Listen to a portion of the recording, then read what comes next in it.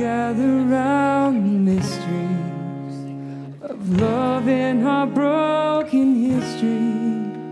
Where grace heals the fall lines in me, time and time again, welcomes me in to a, a house for the hungry, a well for the thirsty. We're all saints come together, shoulder to shoulder. Welcome for the traveler, new wine for the vineyard. In all things, God is able.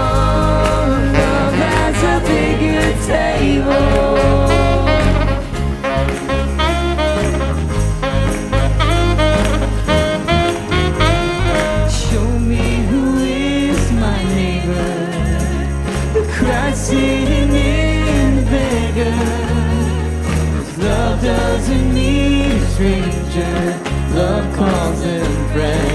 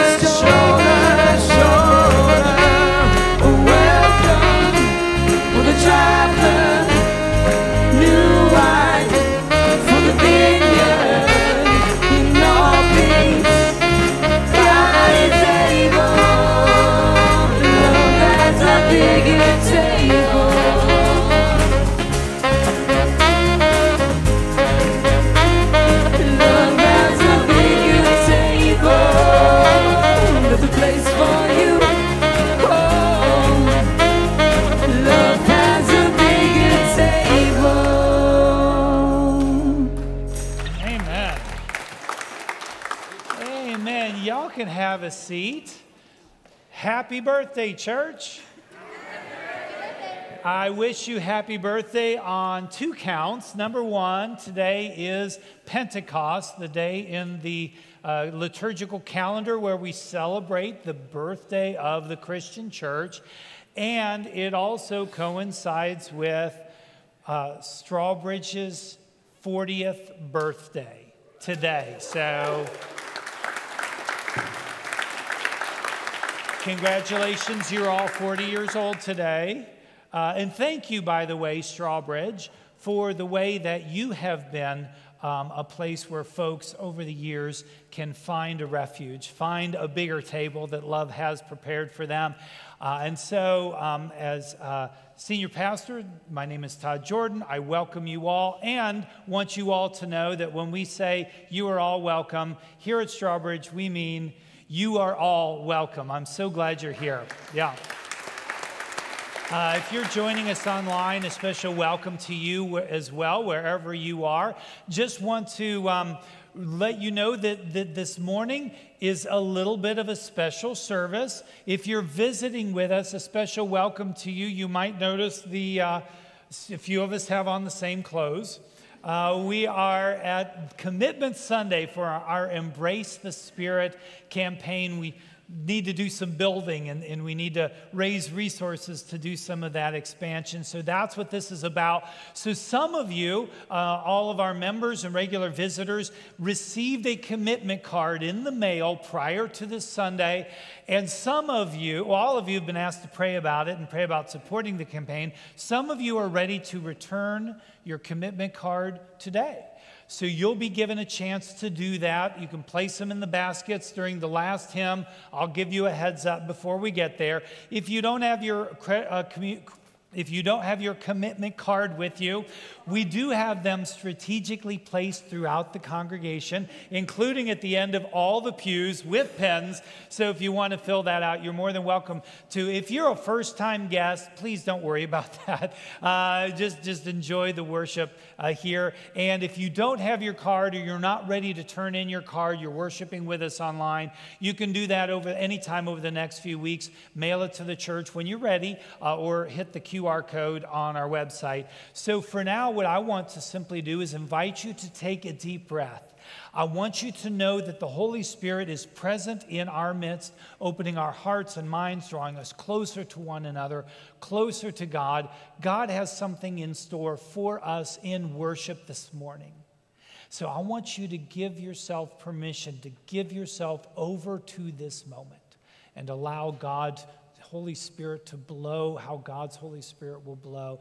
And as we prepare our hearts and our minds for worship, I'm going to invite Grace Leith to come up and get us started in our call to worship this morning.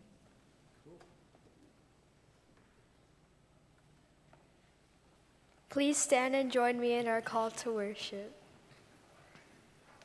God has gathered us to this place where we hear those stories which show us what the kingdom of God is like.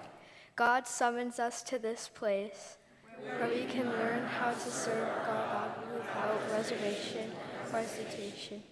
God will send us from this place to tell others of God's hopes and truths so they too can first follow God. Amen.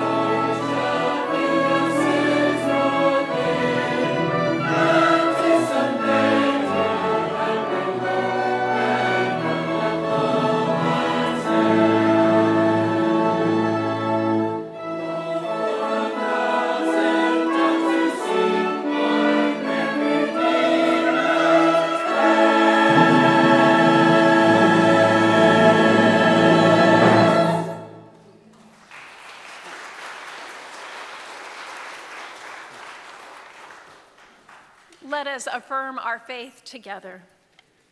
We believe that God is present in the darkness before dawn, in the waiting and uncertainty where fear and courage join hands, conflict and caring link arms, and the sun rises over barbed wire. We believe in a with us God who sits down in our midst to share our humanity. We affirm a faith that takes us beyond the safe place into action, into vulnerability, and into the streets. We commit ourselves to work for change and put ourselves on the line, to bear responsibility, take risks, live powerfully, and face humiliation, to stand with those on the edge, to choose life and be used by the Spirit for God's new community of hope. Amen.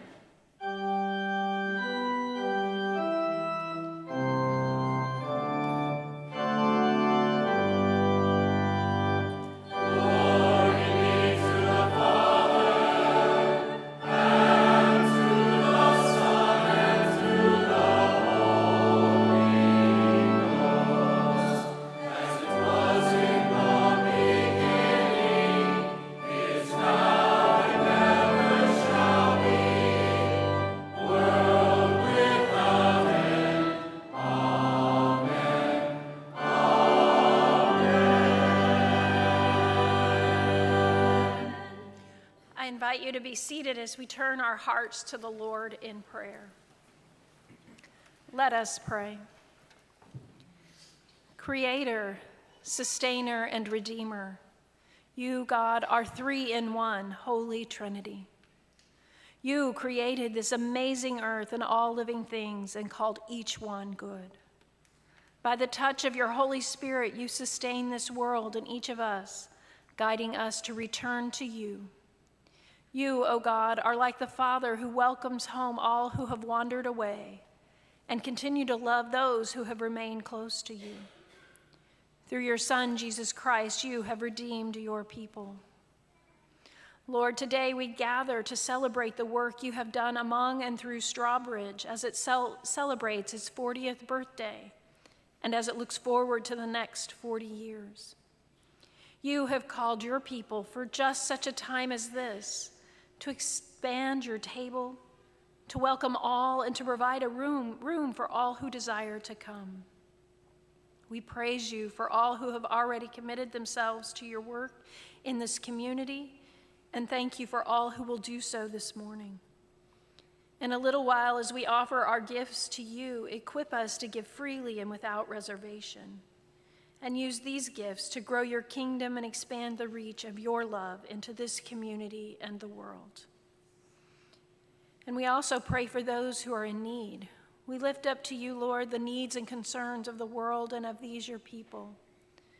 For all the places where there is war, we pray for peace, that those who are bringing up arms against one another would lay them down and instead embrace each other in the love and charity that you call us to.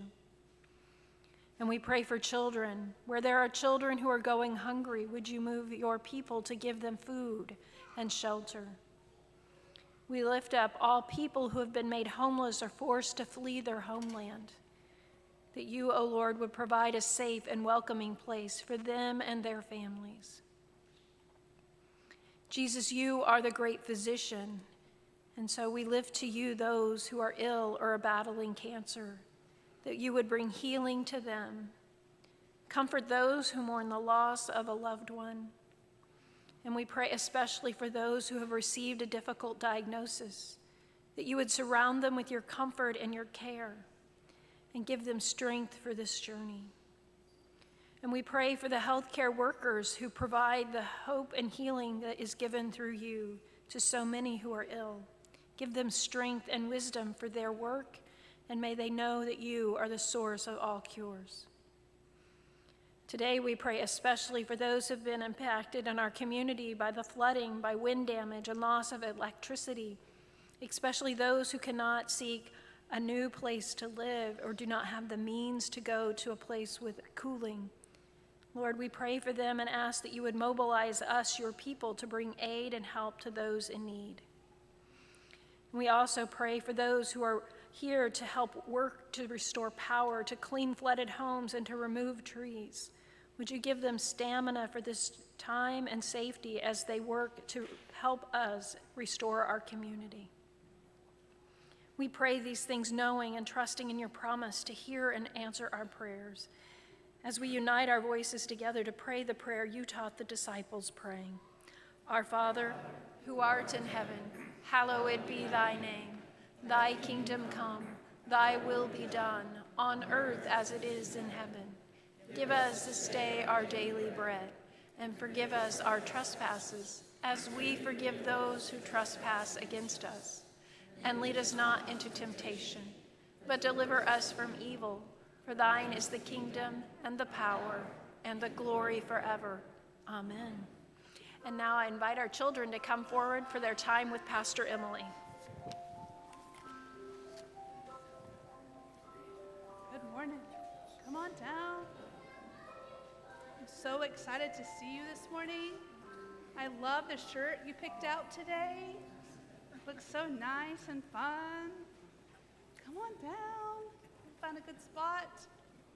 Good morning. So, have you ever seen the movie Aladdin? Have you seen that movie? The movie Aladdin with Aladdin and the genie and the lamp? He has it ringing. Is it ringing a bell? And he finds a lamp and he rubs it. And what happened? The genie pops out. And what does Aladdin get to do? He gets to make some wishes, right? So th- three. That's right. So you got to get that three. So if you could wish, if you could wish for anything, what would you wish for? Like someone in first service wanted a unicorn they could fly around on. That was their wish. What would you wish for? A horse, okay, I like it.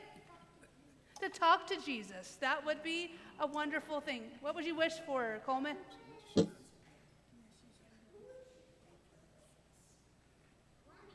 You want to be rich?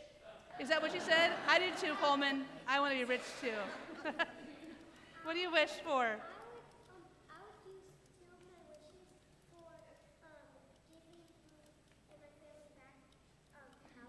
Get your power back. Yes, for sure.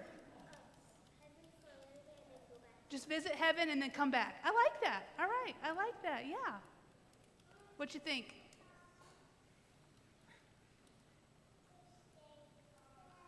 To stay what? To stay home some days. I get it. Sometimes you want to stay home. I get that. What else, anybody else wish? What would you wish for? A dog. All right. Lily, what would you wish for? To not go to school? Well, you're, you're about to have the summer off. So, yeah? What would you wish for? To get anything you want. Okay. All right. Close. Tell me, and then we'll finish with Ruth. Snow? That, I think everybody always wants that. Tell me. Snowball? Okay, Michael, now you finish us. What do you wish for? You thinking? Okay. You know what I might, other than flying around, you know what else I might wish for? Kind of like Coleman. I would want a lot of money, right? Right? A lot of, a lot of money, money. And you know, there's a there's someone in the Bible. Have you heard of the prodigal son? Have you heard of that? Can you say prodigal son? Yeah. And he kind of he kind of had a wish. He, and you know what? He, he kind of wished he wanted to have a lot of money, right? Hang on just a second. He wanted money. And so guess what he did? He went to his dad and he said, Dad, I, I wish to have all the money I'm going to get one day, and I want to go out and be on, his, on my own. And so, guess what he did? Guess what he did? He took all his money, he went out on his own, and guess what happened to all of his money? It's gone. First, it disappeared, as a little boy said in the first service. He had a large time. Hang on just a second. You want to tell me something? Okay, tell me, because you're about to explode. And the famine came, and so what, what does that mean? He got really what? Hungry and he started working with pigs. Now, who would wish to work with pigs? Nobody. You want to work with pigs? All right. Are there some, you like them? Okay, but guess what? He was so hungry. He had spent all his money. He had a large time that he would said, "I'm so hungry that I would even eat what the pigs eat." Mud. Yes, mud. Slop. Yeah, he would. I don't. Let's not eat the pigs. I don't know. I don't know. Uh, maybe at least it would be pork, right? All right, so anyway, he was so hungry, guess what? He wanted to eat the pig slop. Yeah, so guess what he decided he should do? He didn't eat the pigs. Nope. He Okay, all right. Guess what he did? Thomas is about to erupt. Tell me, Thomas.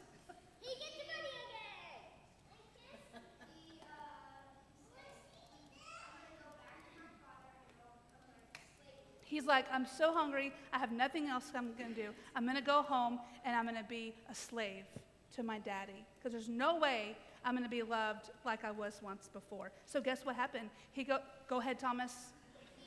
Go for it. I love it. It works for me. Yep. Yep. That's right. They're like, party. My son is home. You're not grounded. You're not in timeout. You are, you are loved and you are embraced, and we're going to have a big party for you because he was celebrated that he made that right choice and came back home. And yes, Thomas, and then we're going to pray. And then the brothers got jealous, but we're going to save that for part two another day. Because Pastor Todd's only getting us to the embracing and excited piece. All right? I love it. I love it. And you know what's so exciting about, about all of this is that no matter where we, where we go, the, the choices that we make, we can always be welcome at church, at home to be loved by God, to by this wonderful church family, that no matter where you come from or what choices you made last night or years past, you are always welcome in church. And you know, I was thinking as you were getting ready to, to have summer, right, and not be at school, there's a, lots of things that you can do this summer here at church that you can embrace and know how much God loves you. So you pray with me? You guys were awesome today. But don't eat pig slop, okay? It's gross. All right, let's pray. Let's pray. God, we thank you for this day. I thank you for every child at my feet this morning and those who are here this morning or are on their way or who watched online. God, I hope that you know how much they love you and so do their families. God, help us to remember that no matter if we spend all our money or we save it and give it all away, no matter what, God, you always love us and welcome us in. And all of God's children say, Amen. Amen as the kids head back to your seat, and invite you to watch our Embrace the Spirit video this morning. Thanks for coming. Thanks for Hello, church. I'm Carol Bowden. I'd like to share a few thoughts with you today about gratitude. It's been almost two years since I first came to Strawbridge. It had been a tough time in my faith walk. We were in the middle of a church split and I had been told in person to my face that my beliefs were all wrong, that I didn't understand the Bible. And to me, Jesus was just another guy. Even though I felt they were wrong, it really hurt. It made me doubt myself. After all, these words came from friends that I respected and trusted, and they were reinforced by the pastor's words my Sunday worship became filled with uncertainty. Then I came to Strawbridge. I entered the sanctuary a broken, fearful person. I was sure I'd be called out for my unworthiness to be there. But I was greeted with welcoming, open arms. There were genuine smiles for me. The message at Strawbridge was that everyone was welcome and everyone was loved. But as messed up as I was, I still wondered if that really included me. As I continued to attend on Sundays, I realized God was present. I could hear him in the message. I could see the Holy Spirit in the people surrounding me, and I was beginning to feel loved again. I am eternally grateful that God brought me to Strawbridge. He knew how to show me that I had value. As I reflect on those times, I realize now that I would go through all of it again. All of the sleepless nights, anxiety, and confusion, just to be a part of Strawbridge. Thank you, God. Thank you, church family.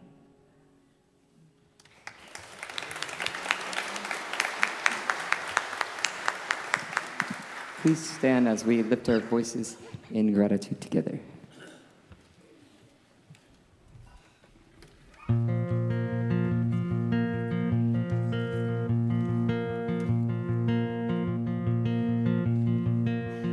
All my words fall short. I got nothing new. How could I express? my gratitude. I could sing these songs as I often do,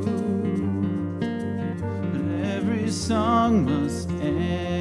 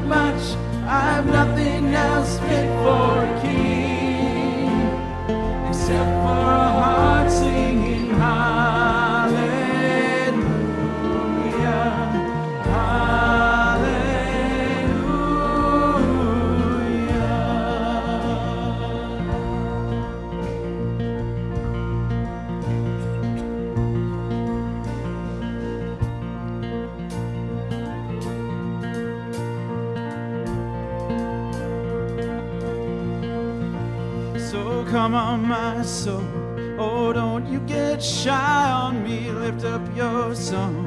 Cause you got a lion inside of those lungs. Get up and praise the Lord. Oh, come on, my soul. Oh, don't you get shy on me. Lift up your song. Cause you got a lion inside of those lungs. Up and praise the Lord. Come on, my soul. Oh, don't you get shy on me. Lift up your song. Cause you got a lion inside of those lungs. Get up and praise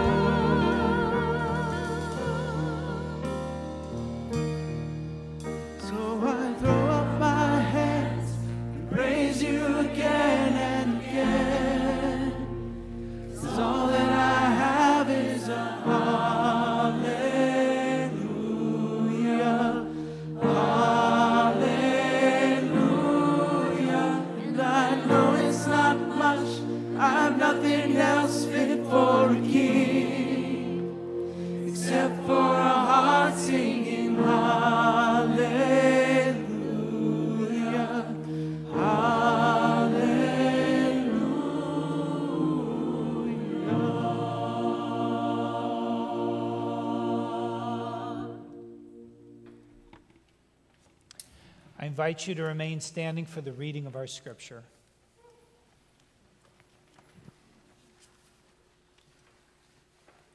Morning. Well, Thomas covered this, but our scripture is Luke chapter 15, verses 11 through 24. And a big thank you to all of those who are working with our children and nurturing them in the Word, that they know this, it's on their heart. Then Jesus said, There was a man who had two sons. The younger of them said to his father, Father, give me the share of the property that will belong to me. So he divided his property between them. A few days later, the younger son gathered all he had and traveled to a distant country, and there he squandered his property in dissolute living. When he had spent everything, a severe famine took place throughout that country, and he began to be in need. So he went and hired himself out to one of the citizens of that country, who sent him to his fields to feed the pigs. He would gladly have filled himself with the pods that the pigs were eating, and no one gave him anything. But when he came to himself, he said, How many of my father's hired hands have bread enough and to spare? But here I am dying of hunger. I will get up and go to my father, and I will say to him, Father, I have sinned against heaven and before you. I am no longer worthy to be called your son. Treat me like one of your hired hands. So he set off and went to his father. But while he was still far off, his father saw him and was filled with compassion. He ran and put his arms around him and kissed him. Then the son said to him, Father, I have sinned against heaven and before you. I am no longer worthy to be called your son. But the father said to his slaves, Quickly bring out a robe, the best one, and put it on him. Put a ring on his finger and sandals on his feet, and get the fatted calf and kill it, and let us eat and celebrate. For this son of mine was dead and is alive again. He was lost and is found. And they began to celebrate. This is the word of God for the people of God. Thanks be to God. Amen. You may be seated.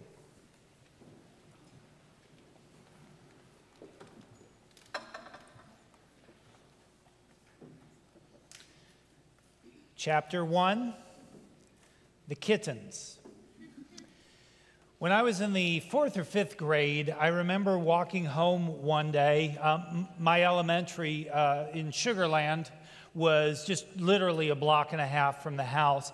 But on this particular day, it was a Thursday afternoon and it was raining. And when I say it was raining, it was raining like the heavy rains that we've seen recently, the kind that fill up the ditches in just a couple of hours. And that's exactly what had happened. By the time I had gone, walked home in this, uh, and all the ditches uh, uh, on the way to the house were completely full, overflowing, st- streets were flooding, and it was just coming down in sheets, and I was drenched.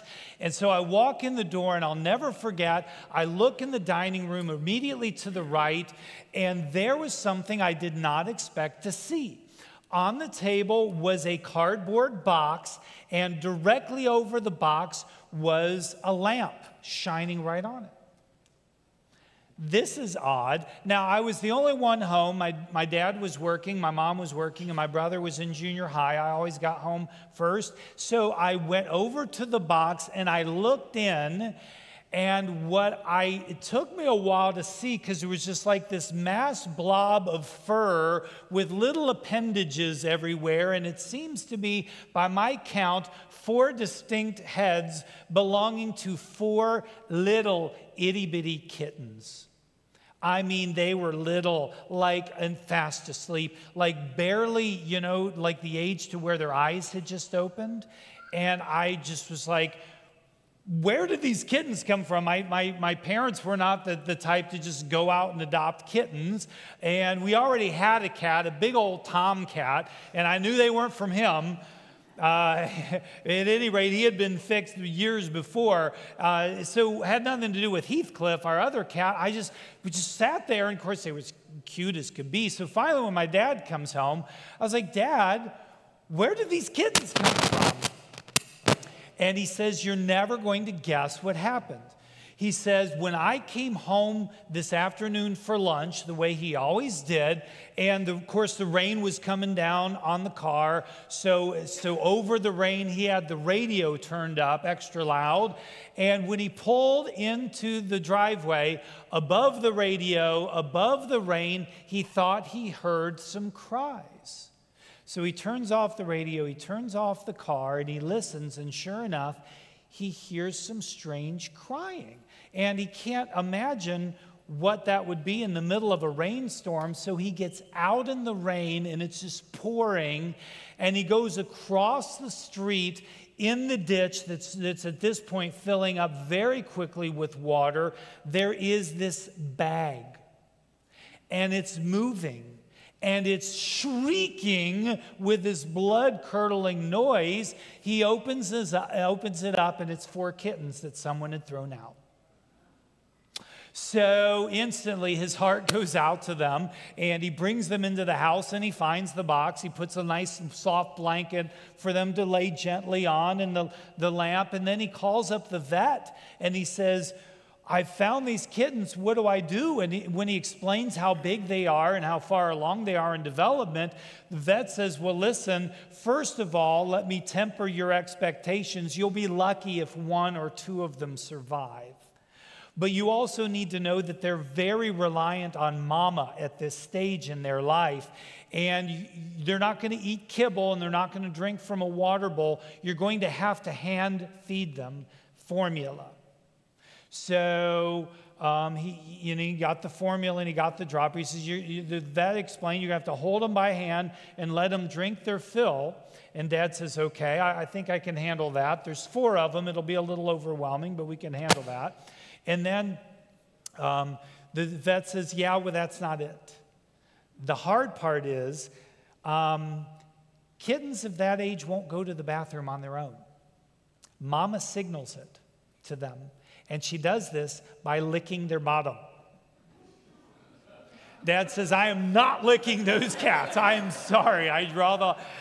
The vet says you don't need to. The vet says what you will need to do, though, after every feeding time, all four of them, you need a bowl of warm water and you take a cotton ball and you hold the kitten in your hand and you wipe until everything that needs to come out comes out. And you have to do this for every kitten at every feeding time. And dad's like, okay, think I can handle that, what, once or twice a day? No, every four hours. Every four hours during the day? No, every four hours around the clock in order to keep them alive. And so, you know, of course, we helped, um, but dad took the night hours.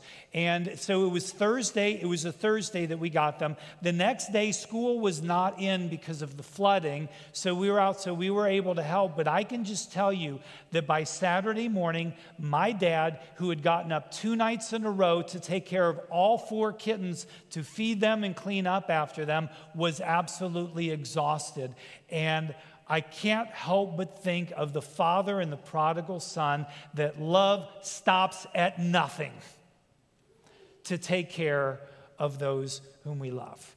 This is what love does. So, so, why would my dad do such a thing? Why would my dad take care of these kittens that he didn't ask for, wasn't looking for, wasn't even necessarily interested in helping? My guess is that my dad had a heart that knew something. My dad has a heart that knows something about love and compassion.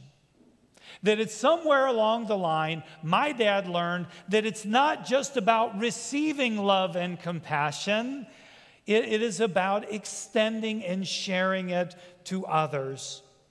So when Jesus calls us to discipleship, when Jesus calls us to support the church with our prayers, our presence, our gifts, our service, and our witness, when Jesus sends us into the world to make disciples, we have to remember that we don't do so as a chore or as a task or as a have to. We are to do so out of gratitude that it was God who loved us first, God who would stop at nothing to love us, to claim us, to name us first, God who would stop at nothing, even if it meant going all the way to the cross, would love us the way the Father embraces the prodigal son, would love us the way my dad cradled those kittens and hand fed them in the late hours of the night. This is who God is. The prodigal son, the parable, is not so much uh, about the prodigal son as it is about God and God's generosity. As much about God's grace as it is about us and our sin and our woundedness and our brokenness. And it is a reminder that apart from God's grace, you and I are as helpless as that broke uh, prodigal son pining after pig slop, as helpless as a bagged kitten in a quickly filling ditch. So, in the parable, as we heard, the prodigal son basically goes to his dad at the beginning of the story and says, You know, I want you to, to give me my inheritance now, which was essentially saying, You're dead to me. As far as I care, you, you, you are only worth to me what I can see in dollar signs. And this would have been a very disrespectful, very selfish, very dishonorable thing to do. And nonetheless, the father apparently sells the son's portion of, of their property, gives him the cash, and then the son, of course, we know, goes to a faraway land and just completely squanders it, right? And finds himself so broke, so poor. Okay, now think about this. Uh, he is working in a land that raises pigs, right? So this is not Israel. Pigs for, for Jewish people were considered unclean. The land in which they were, the people that handled them were unclean, Gentiles, right? The pigs themselves were unclean. So for, for the prodigal son to be wanting to eat what the pigs were eating, that would have been as offensive to the first hearers of the parable as it is disgusting to you and I. Words cannot describe how humiliating, how low, how horrible one would have to find themselves in order to yearn for pig slop, especially in that culture. This would not have been lost to them. He is as low as they get, as it gets. So the son, coming to his senses in a moment of clarity, realizes, you know, my father's servants, even the poorest of them, have it better than this. At least they have a roof over their heads and, and a meal on the table. So I'm going to go home and and, and, and confess that I have disgraced my father, insulted him, squandered everything for my own selfish giving. So he goes home with his tail between his legs, so to speak confesses, he repents, begs for mercy, and says, Look, I'll just, just hire me as a hired hand. The father does not hear of it. This is not going to happen as far as the father is concerned. In fact, Jesus lets us know that before the son even arrives, what is the father doing? Running to him. It's as if he's on the lookout for his son right? That relationship, that covenant has not been broken. And you might recall when I was talking a week ago about Zacchaeus, about men running in public, lifting up their cloaks to run in public was considered dishonorable and disgraceful. Jesus is telling us we have a God that will stop at nothing to claim us and face even humiliation that we might know that we have a place in God's kingdom. And the king and the, the, father embraces the son, puts sandals on his feet, a ring on his finger, and says, You're not just back home, you're back home as my child. You belong to me. This is what love is. This is what God does for you and I. This is the why we do what we do as Christians. God makes room for the lost and the last and the least. And God's grace is for everybody. Not unlike my own dad uh, making his way through the rain for these kittens to find them a warm, cozy bed and stay up all night taking care of them. God will stop at nothing to see to it that every one of his children has a place in his kingdom. I share this with you because this is Strawbridge's mission.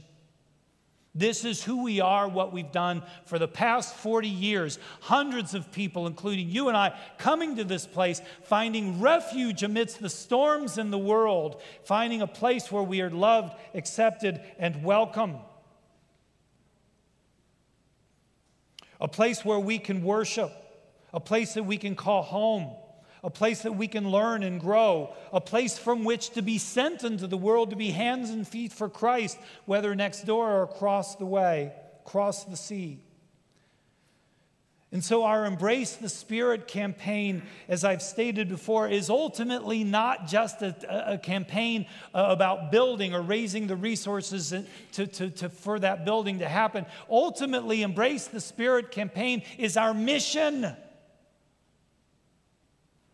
to make room for anyone and everyone on the journey, on their spiritual journey, anyone, uh, even those who are unclear of their journey, to make a place at Strawbridge United Methodist Church. The world needs us to be a place where people can love and think, a place to receive and be received, a place to serve and be served without restriction, without reservation, without conditions, a place where everyone is welcome and where everyone actually means everyone.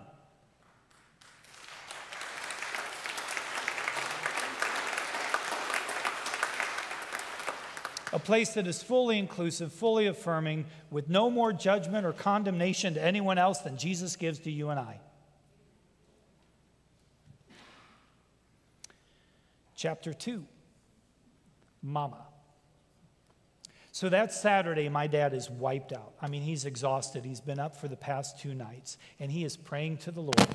He is praying, Oh God, um, that's me, sorry. Uh, he is praying to God, I need some help in this. He is exhausted. Uh, he's a pastor, he's associate pastor at the Methodist Church there in Sugarland at the time. His job was to give a, a children's sermon in, uh, in that Sunday morning. He had work to do and he needed some relief. And so he was praying hard that something would change. And um, about five o'clock or five, six o'clock that evening, uh, his prayers were answered. We were watching TV on the couch that Saturday afternoon or evening, and all of a sudden we heard a blood curdling howl. I mean, it was it's the kind of noise that makes your hair stand on, on the back of your neck. And we looked at each other and we were like, what is that horrible noise? And then all of a sudden he thought, you don't think. So we go, uh, not making this up, we go outside, open the garage door, and there is the saddest, most miserable, scrawny, skinny, gray female cat we've ever seen in our lives. And she has that look the way mama kittens look, or mama cats look when they've just given birth, you know? And she is just howling at the top of her lungs. And dad's thinking, I don't care if this is their mama kitty or another mama kitty, she's got the job. So he tries to entice her to come into the garage. He gets a little bowl of water, he thinks she must be thirsty, puts the bowl out, out there. She does, she's just howling. Then he gets some cat food, some kitty kibble uh, that we use for Heathcliff, put that in a bowl, put it out, no attention, just howling. He's like, I don't know what to do. How do we get her in?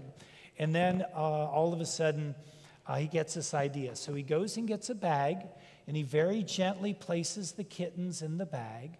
Then he takes the bag out to the garage, lays it down with the open end toward Mama Cat so she can see.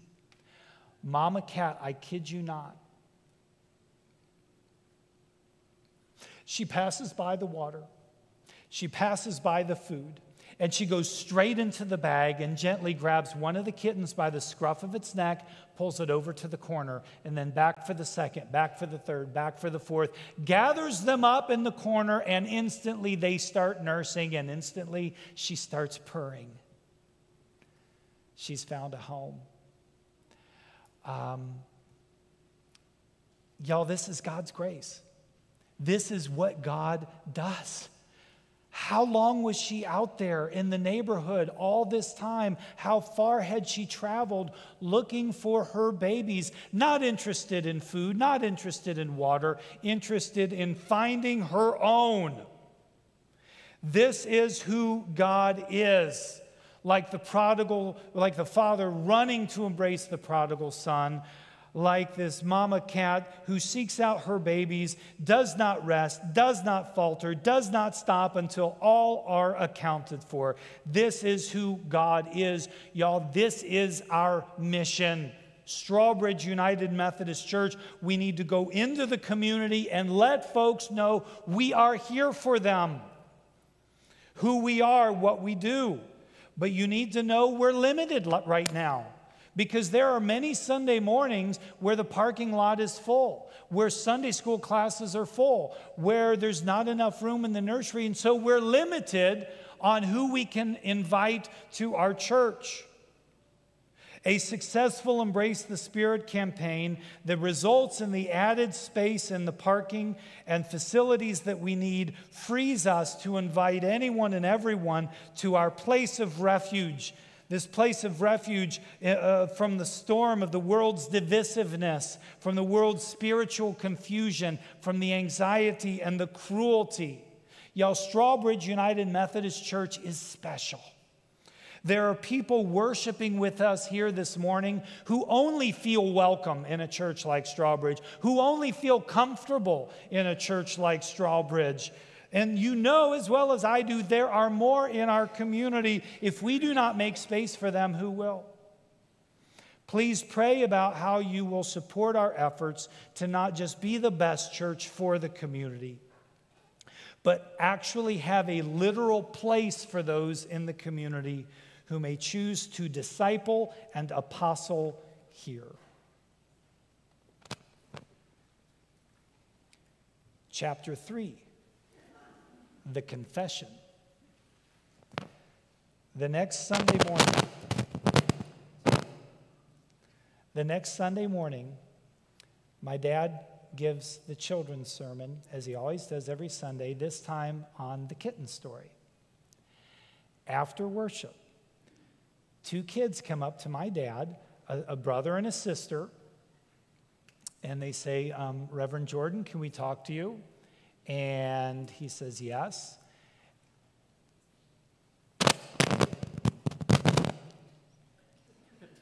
That was our dad. My dad says, What? That was our dad that put the kittens in the bag and threw it out the car window.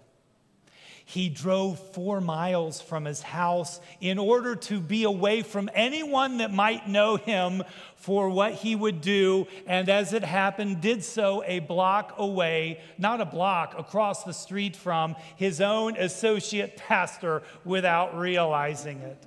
Dad said, Really? Says, Oh, yes. He was tired of this mama kitten or mama cat giving birth to kittens underneath our porch. So he bagged them up to throw them out and got mama cat, was going to throw her out too. Somehow she got, uh, she escaped before we could get there. So she had been traveling all over, going house to house in search of her babies and now dad knew who did it.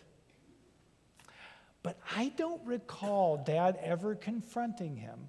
I don't recall my dad ever uh, preaching a sermon to him or giving him a lecture or chastising or condemning or judgment. You know what I believe my dad did? I believe my dad felt like his loving act in the face of the other man's cruelty was conviction. I believe this is exactly how God is. The father does not need to chastise the prodigal son, give him a lecture, or punish him. What the dad does is contrast the selfishness and the cruelty with generosity and grace. It is as if the father is saying, I will match your hatred, I will match your disrespect with unmatchless love and acceptance and unconditional mercy. And this is who we are called to be as a church. We don't need to judge the world. We don't need to lecture the world. We don't need to condemn the world. What we need to do is live out God's call to show grace and mercy to one another, to treat others how God treats us. In the face of our unfaithfulness, cruelty, and selfishness, God responds with love Strawbridge United Methodist Church can convict the world of its hatred, of its anger, and of the vitriol that we see in our culture and our politics today, and contrast that with love and compassion. You and I have an opportunity to be an instrument of God's grace and exemplify to the world the right way to do church. And the more we welcome into our midst, the more we convict with our love, grace, and mercy, the more we teach in compassion and reach in compassion, the more we influence through our faith and action, the more we send into the world to do the same for others. Chapter 4 and they lived happily ever after. All four kittens survived. All four of them survived. They grew, they got strong. Uh, Mama Cat, uh, she did great. We brought her into the house. Uh, they were part of the family until they were strong enough. And then we found uh, loving homes for all of them to, to be named and claimed, including Mama. And um, as far as I knew, they grew up to be happy, healthy cats. Um, and that's what we want to see. Um, just like the prodigal son finds a home uh, in his home to be not just another servant, not just another person, but actually a, a child of a part of the family. Uh, Strawbridge United Methodist Church is called to be, it is a home for you and I, a refuge for you and I. We are called to be this for many in the world. And I simply ask that God would grant that we would embrace the Spirit and make room for them. Amen.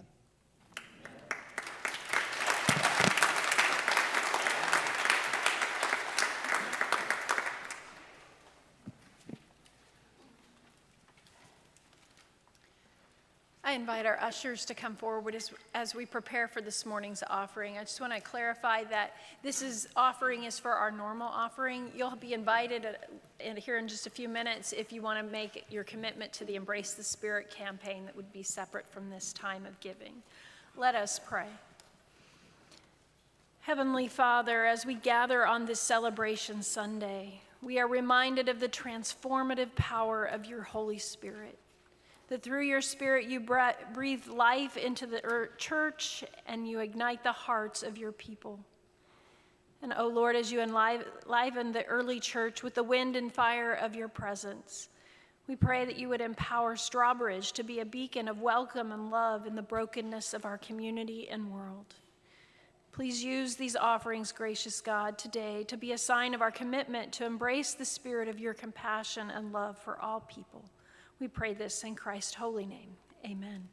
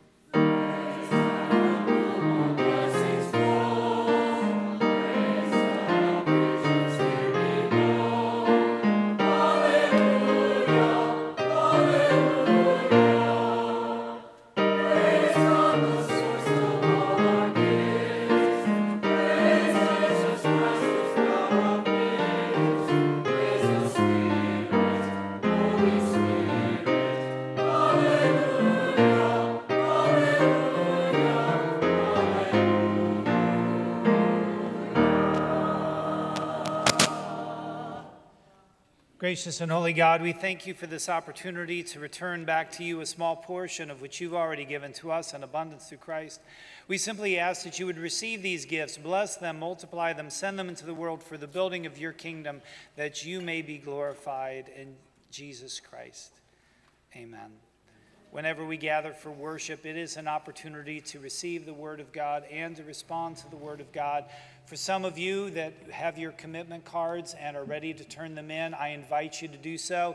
If not, uh, you've got time, pray about it. You can send them in over the next couple of weeks. If you're worshiping with us online and you want to give or know more how to want to know more about how to give, uh, call the church office. Would love to chat with you about that. Fill out the commitment card or find the scan uh, QR code online.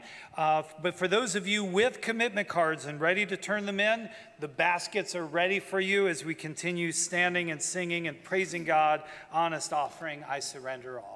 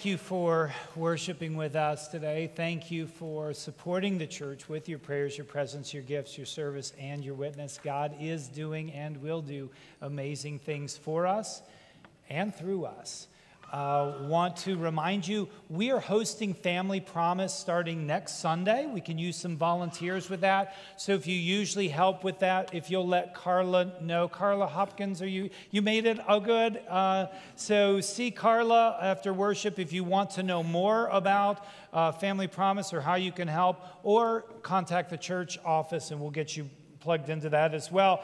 And just want to remind you that there is a picnic for us waiting um, with bouncy houses and all sorts of goodies. So that's immediately following worship. So on your way out, the, the nine o'clock worship folks are already out there. It's okay. Um, go, we'll go join them. And thank you for all the ways you are living in such a way that will let the world know about God's grace that just can't be stopped.